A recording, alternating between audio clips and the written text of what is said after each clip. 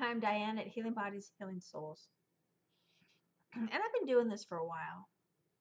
And what I'm really good at is is listening to people's language and how you say it tells me everything.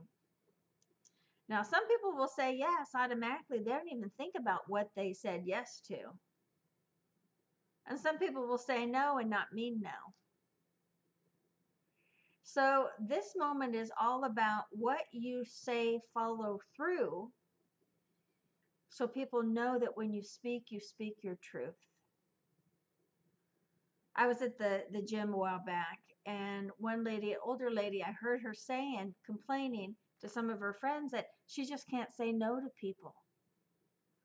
And I leaned over, I looked over, and I says, I can teach you to say no. No. Hell no. Fuck no. Not going to happen, no. Very clear to my no. And we all laughed. And I saw her a few minutes later in the parking lot. And I said, I hope I wasn't too rough and I, I didn't mean to jump into your conversation. But at our ages, we have the right to say yes and we have the right to say no. We have the right to be who we are. And she burst into tears. And I gave her a hug. And she said, I wish I would have known that years ago. And I said, I'm I'm just Diane. And if you needed permission to speak your truth, to say no when no makes sense to you and yes when yes makes sense to you, then I give you permission.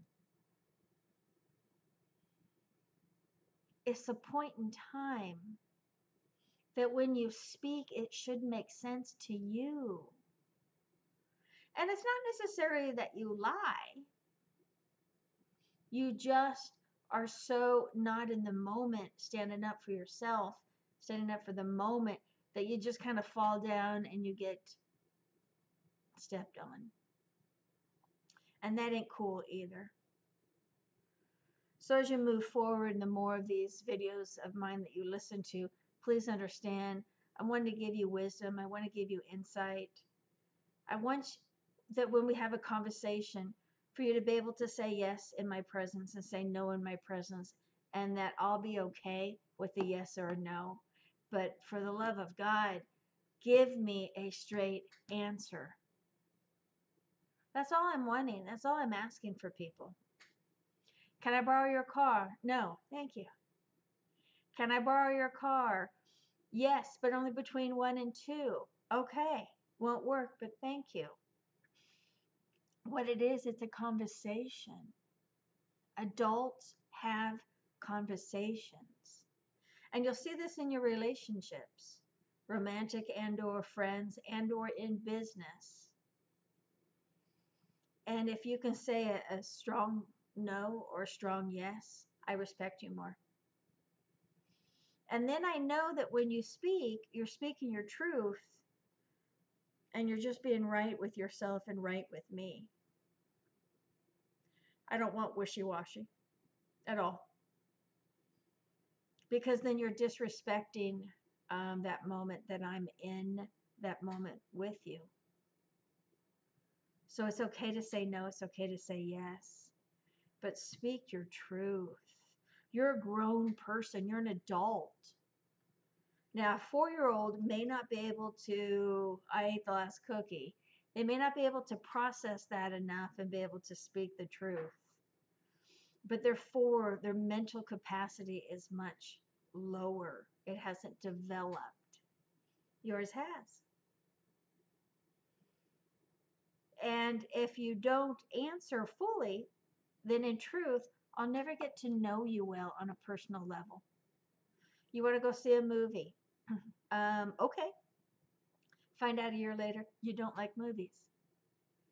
I would rather if you said, well, it's not one of my favorite things to do. Oh, well, what would be? We can go bowling. No, that's not one of my favorites. Because remember, I'm honest. So then we'll flip a coin. Excuse me, think of something else. But we'll have an adult conversation and I'll know that person more. They'll know me more. And then that's when friendship, loyalty, trust, respect can show up. I had a girlfriend of probably 25 years, and uh, she has a lot of control issues. And I'm like, ah. But one time we were out, we needed to have dinner before we were going to go do something. I said, Oh, what do you want for dinner? I don't care. I said, Okay. So I pull up my phone looking at um, Yelp, and I said, Well, there's a Mexican restaurant, mile and a half, looks good. And she's like, Okay. So we went. After dinner, I said to her, Well, the meal was okay. I don't think I'd ever go back, but what was your experience? She looked at me, she's like, I don't like going to Mexican restaurants. That ended that moment, our 25 year relationship as friends. Because if you're going to play that small and then when it's too late to because my goal was for that we both had a good experience. And if she would have said at the very beginning i'd you know don't say like mexican food is there any other place? I would have said absolutely there's a, a hamburger shop there's a uh, italian there's all different kinds but since she didn't speak and then later told me.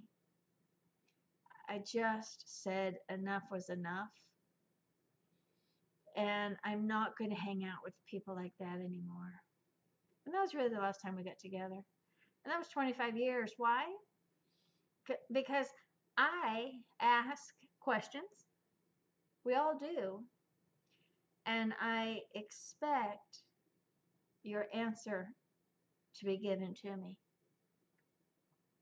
Because if you can't, then there's no foundation to friendship, to openness, to trust, the yin and yang, the back and forth. So think about this for a moment, please. When without when you're out with your friends, if they say, "Hey, let's go see a horror movie," I'm like, "Oh, I can't see a horror movie. Go have fun. I'll catch you afterwards. We'll do something before." but I'm not going to tag along because I don't want you to tag along with me not having a good time. Why? Because we just need to have a conversation. And if you have a hard time with conversations, then let's look at that. If you have a hard time showing up for yourself and speaking your truth, let's work on that. Because in the adult world, in the business world, in the friendship world, and in the relationship of intimacy world, Everything is based on communication.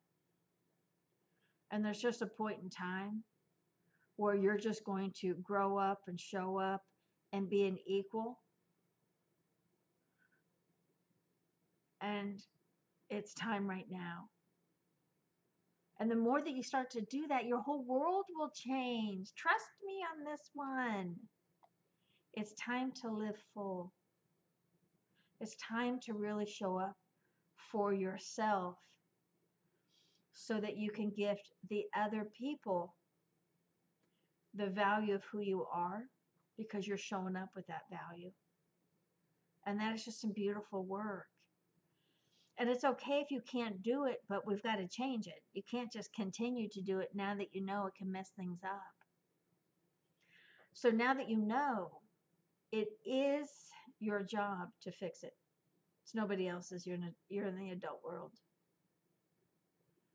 And once you learn the tools, it'll be easy. And life will be so much more rewarding. I know this stuff. So reach out. Free consultations, the whole nine yards on Zoom. I can't make it any easier other than knocking at your door and trust me. that's what I had to do to get you to feel good about yourself. I'd, I'd pretty much almost do that. So go ahead and breathe. Know that life is like an equation and it's just a few little things need to be tweaked, need to be changed. And then life can show up so much more richer. Work is going to be so much stronger. Families can be so much more. I had a lady um, here at my home. She flat out lied to her husband right in front of me. flat out lied to him. And I didn't have the heart to point it out to her in front of her husband. I'm, I'm not I'm not going to do that at all. But there's a point in time that you could probably put some good money, not even knowing them, that their relationship is poor in communication, in intimacy, in love, in connections. It's flat out poor. Because if you don't have good communication skills, you have really nothing to offer. And I help people communicate, speak truth, show up so the world can see who you are, and that people can like and love you more because you're showing up with self respect at a very high level. And it'll be fun most times. So reach out, please. I look forward to serving you as much as I can as we move forward. And I know that you can do this. And trust me, on my watch, you will not fail. This I can 100% guarantee you. So thank you for listening. Thank you for your time. I wish you happiness. I wish you love. And I wish for you to grow. Thank you.